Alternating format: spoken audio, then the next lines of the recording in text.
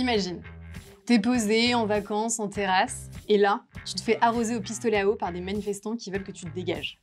Et bah ça, ça s'est vraiment passé en juillet à Barcelone.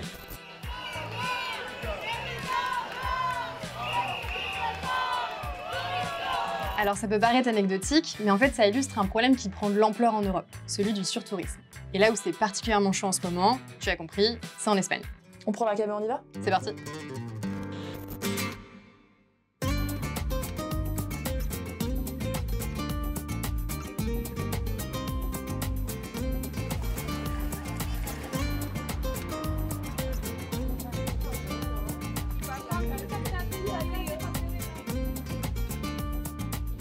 Surprise, on n'est ni à Barcelone ni à Madrid, mais sur l'île de Minorque, aux Baléares. Et le petit village là juste derrière nous, c'est Vinibecavell. Il est connu pour être super instagrammable. Mais pas que, les habitants ont mis en place une mesure pour limiter les touristes qui a fait pas mal parler. Vamos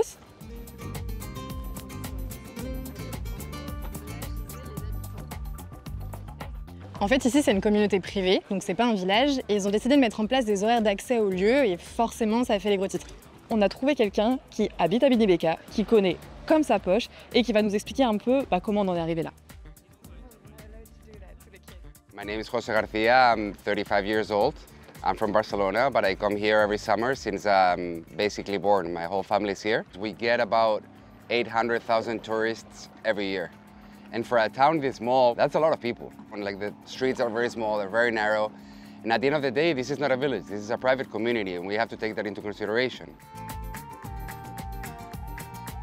We're adopting a, what, what I think is a lighter measure. We're closing the village from 10 p.m. until 10 a.m. so that people at least can relax during the evening and you don't get people like visiting at night, waking up uh, everybody around. But the news have expanded it and they're basically saying that we're closing to, to tourists and that we're not accepting anybody. And that's a lie. Here in Binibeca, we don't mind the tourists. The only thing we ask is for them to be respectful to others.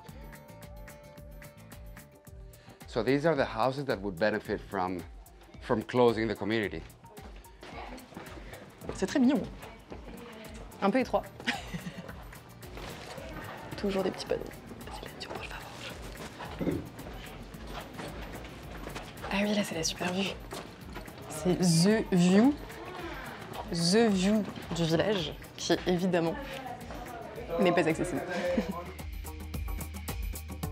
Ever since Instagram was around, especially for the last five, ten years, in, you know, in, in which people just feel the need to share where they've been, to copy the post that they saw from that influencer, you know, or just to say, hey, I've been here first. Some bigger or smaller brands, they come here uh, to create content for their website, for their campaigns. We've had Zara come in here and do their shootings without asking us for permission, and then we go to their website and we see like our house in the backdrop of a photo. Yesterday, there was uh, this woman that was walking up to my cousin's house. She was almost about to enter uh, his property. And I said, excuse me, you're in private property. And she said, there's no signs. I said, well, there's a door that you just trespassed. And, says, and she said, yeah, well, there's no signs that say no entry. Well, okay, there's no signs that say don't hit people on the street, but you don't do it because it's not morally right. I mean, just people don't don't use common sense when, when visiting here. They think they're on a vacation and they are free to do whatever they want. And that's the kind of tourism that we don't like.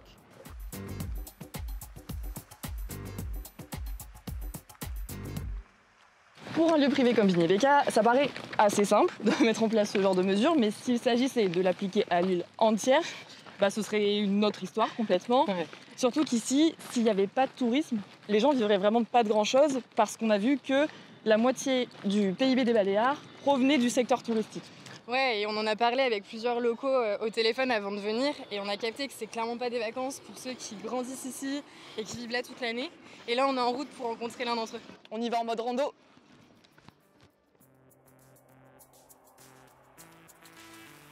My name is Victor.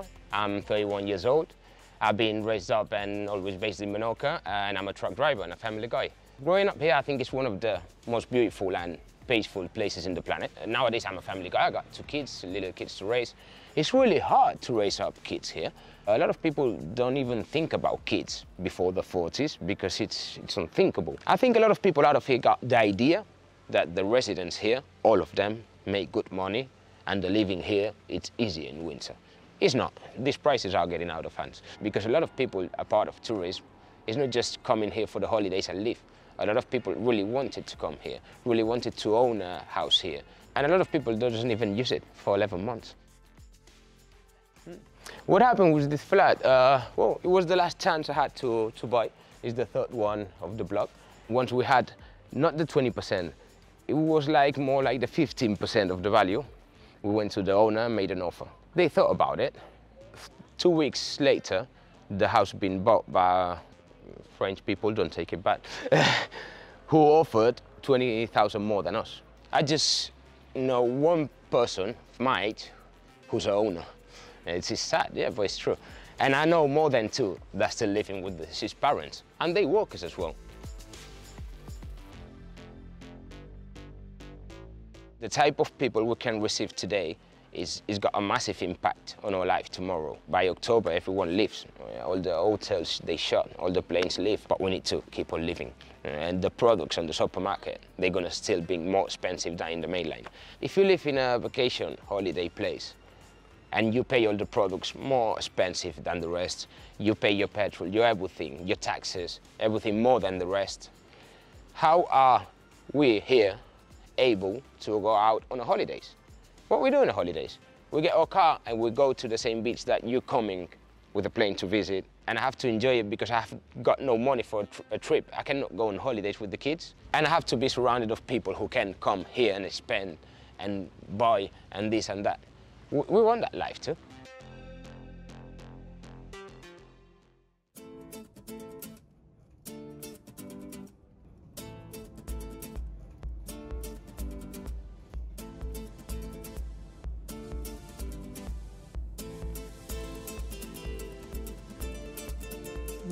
On vient d'arriver à Alcudia, donc à l'est de Majorque. Et maintenant, il faut qu'on prenne un bus qui va mettre une heure pour nous emmener à Palma de Majorque. C'est là où euh, vraiment il y a eu les grosses manifestations récemment contre le surtourisme.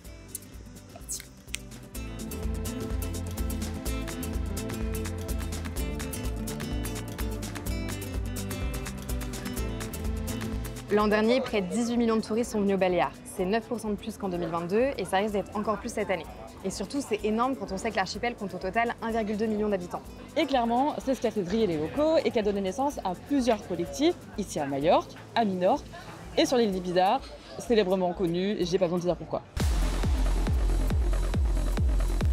En juillet dernier, plus de 20 000 personnes sont descendues dans les rues, ici, à Palma de Majorque, pour manifester et pour demander la mise en place de régulations touristiques efficaces. Mais cette gronde, en fait, elle ne vient pas des Baléares directement, elle est montée cette année depuis un autre archipel espagnol, les Canaries, et elle s'est ensuite étendue à toute l'Espagne qui dit basta, on n'en veut plus du tourisme de masse.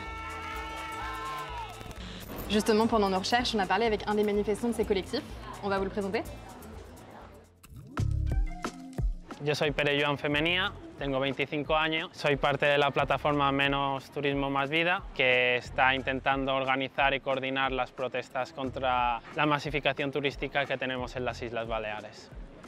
Se dice en Mallorca no vive el turismo, sino el turismo vive de Mallorca, porque es al final el turismo que vive los recursos naturales, del agua, del territorio que hay aquí. Y desde el año 2023, en octubre, España tenía la presidencia europea, que es rotativa, y decidieron venir todos los ministros de turismo en Palma a discutir sobre lo que era turismo.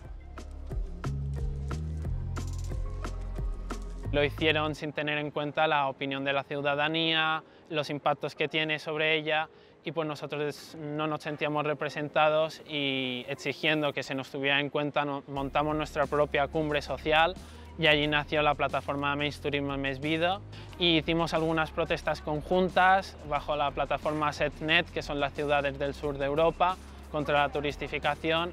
Y a partir de allí pues tejimos red con otros territorios y este último año con las movilizaciones en Canarias estamos tejiendo redes con otras ciudades que aún no se habían movilizado por el turismo de masas, como son directamente Canarias, Barcelona, Valencia, Cantabria, Málaga, Cádiz, Sevilla, uh, Donostia y a otras ciudades que se están empezando a sumar a estos movimientos. Bon, j'ai l'impression qu'ils bougent de ouf en fait les Espagnols, ils se mobilisent vachement contre le surtourisme. Et c'est un sujet qui a fait parler un peu partout en Europe cette année, non? Bon viens on pose les bases Ok, allez. Dans le top 10 des pays les plus visités au monde, 7 sont européens. La France, l'Espagne, l'Italie, le Royaume-Uni, l'Allemagne, la Grèce et l'Autriche. Et donc là-bas, ça fait pas mal d'années qu'on réfléchit à des solutions au niveau local et régional. Est-ce qu'on serait pas parti pour une petite liste non exhaustive? Let's go Donc, il y a Barcelone et la ligne de bus supprimée de Maps, et son maire qui veut bloquer Airbnb d'ici 5 ans, Venise qui fait payer une taxe de séjour journalière, un village d'Autriche qui construit un mur de bois pour empêcher les touristes de prendre des photos, Marseille qui limite l'accès à ses calanques. Bref, chacun tente un peu des trucs. Et si l'Espagne fait partie de ces pays qui doivent prendre des mesures, c'est parce que les prévisions annoncent 91 millions de touristes pour cette année. C'est 6 millions de plus que l'an passé. Et les trois locaux qu'on a rencontrés au Baléares, ils en pensent quoi? I like to think that tourism doesn't hurt like society because I think tourism is healthy for, for many economies as long as it's done in a respectful way. So I think that governments definitely have to take action and, and find ways to, I don't know if to limit tourism to X, X number of people or uh, put them certain, like a fee, you know, like uh, for say that so when they come they have to pay a fee. Las demandas que estamos pidiendo van en contra de los intereses económicos de, del sector empresarial que está aquí, que lo que pide es que de ninguna manera se regule el turismo y mucho menos se, se decrezca en el número de visitantes, porque justifican que las Islas Baleares viven de ello y que hay que mantener este sistema. It's not the amount of people, in my opinion. You have to regulate the quality of life of the residents so we will be able to hold that tourist, you know. Uh, because if you, if you got a better quality life, you face the things better.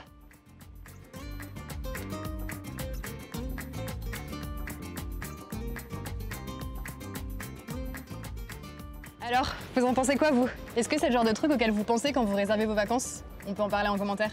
Et puis surtout, n'oubliez pas de vous abonner à notre chaîne pour pas louper nos prochains reportages. Hasta luego